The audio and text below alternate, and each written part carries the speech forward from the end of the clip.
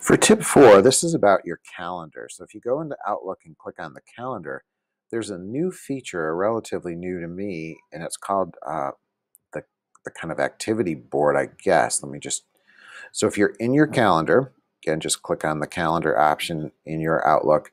And then if you go over to where it says month, where you could change, you know, if you want to look at your day, work week, week, there's a new option down here that says board. And if you click on that, you can, and you can create some different boards.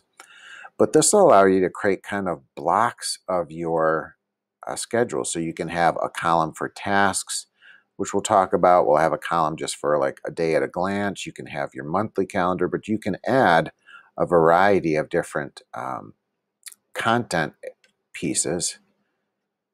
And you can actually even move them around. So it works almost like a a cork board in the sense that you could kind of mix and match and move uh, different things. And if you want to add to the board, you can add a task list, a note. You can add the weather if you wanted to do that. So you could just type in uh, your weather.